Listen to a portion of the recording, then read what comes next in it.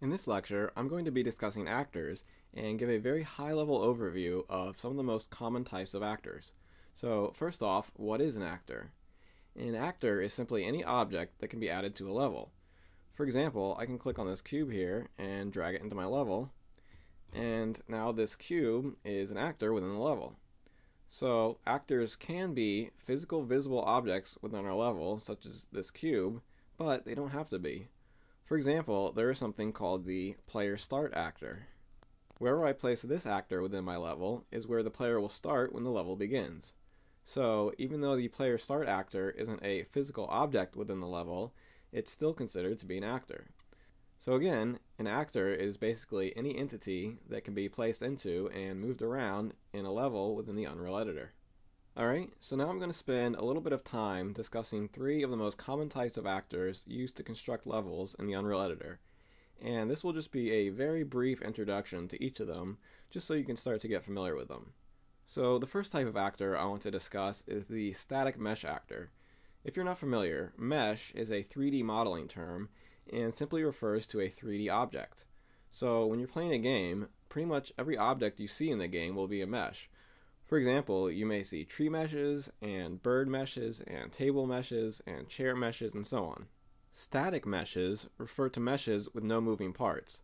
So you have, for example, these static meshes here in the form of some basic geometric shapes.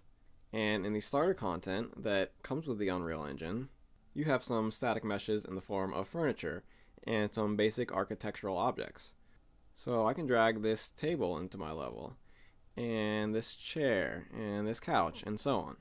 So you have some meshes to start with, but the vast majority of meshes used in games are created in external 3D modeling applications such as Maya, 3D Studio Max, Blender, and so on, and then imported into the Unreal Editor. Now, if you're not a 3D modeling artist, don't despair. There, there's lots of great content available on the internet for you to use for free or for a price, and I will show you where you can get that content later on in the course. The second type of actor I want to discuss are geometry brushes, or simply brushes. A brush is simply an actor used to represent 3D space. So there is a box brush and a cone brush and so on. So this is very similar to a mesh, but there are a few key differences between meshes and brushes. I will discuss these in greater detail later on in the course, but for now, just know the following. Brushes are only used for basic geometric shapes, while meshes can be crafted into objects with a high level of detail. Brushes are useful for quick level design, but are less memory efficient than meshes. Therefore, brushes are generally used to prototype levels early on, and are then replaced with better looking and better performing meshes for the final project. Now, before I move on to the next actor, I want to talk about a property that is common to both meshes and brushes, and that is the material of the actor. A material in Unreal Engine is an asset you can apply to a surface to make that surface, and thus the geometry behind that surface, look like it's made out of a certain substance. For example, if I apply a wood material to this cube, it now looks like a wooden cube. Or, if I give it a brick material, it will look like it's made out of brick. Static meshes that are imported into the Unreal Editor usually already have one or more materials applied to them that get imported in alongside them, but you can replace these materials if you wish. For example, I could replace the material on this chair with a wooden material or any other material I wanted. Now, the final actor I want to discuss in this lecture is the light actor. A light actor in the Unreal Engine is used to represent visible light in the real world.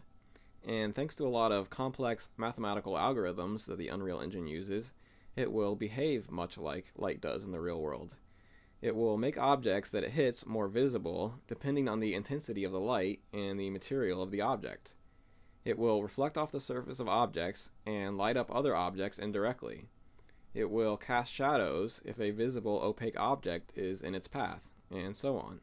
I'll discuss lights in greater detail in a later lecture, but for now, just know that light actors are used to represent only the light itself and not any of the objects from which the light emanates from. For example, if you wanted a working flashlight in your level, you would need to you would need to combine a light actor with a static mesh actor that looked like a flashlight. you would place the light actor at one end of the flashlight to make it look like the light was coming out of the flashlight. So, to summarize, an actor is any object you can place and move about your level. Brushes are a type of geometric actor used to quickly prototype and structure a level. Static meshes are a type of actor that are used to represent realistic looking objects in your level. Materials can be applied to the surfaces of brushes and static meshes to make them look as if they are made out of that type of material. And lights are a type of actor used to light the whole thing up. Alright, so that will conclude the lecture on actors.